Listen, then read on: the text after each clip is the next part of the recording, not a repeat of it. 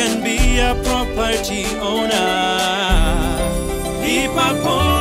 Well, my name is Steven Gumbao. I'm the sales manager, Unique Investors Properties, where we sell properties. We are expertise in properties. the Diaspora market is an interesting kind of market because um, you realize that people who live abroad, probably someone has gone there to work, others have relocated for some time, you know.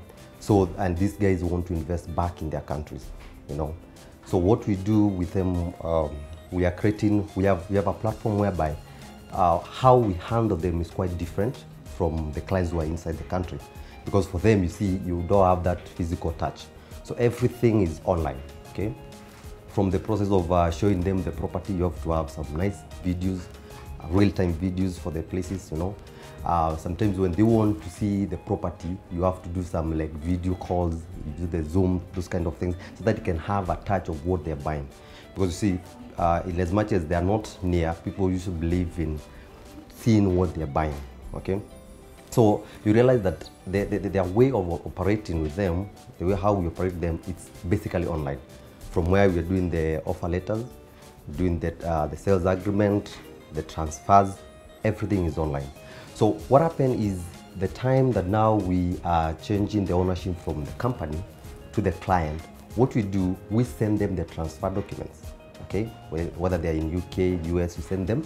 Then they sign uh, the transfer documents, then we take them to registry. When the title deed come, a client who is in diaspora may make a decision, say, you know, I have my relative who is in Kenya, uh, they can come and pick the title deed for my, uh, on my behalf.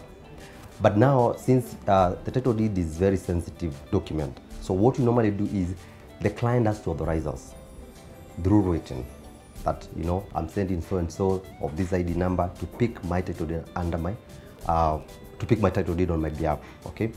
But now most of most of them, others who don't want to involve their relatives, you know, there have been issues of, you know, someone is in the US sending money to the relatives, thinking that they are purchasing for them and they are doing nothing.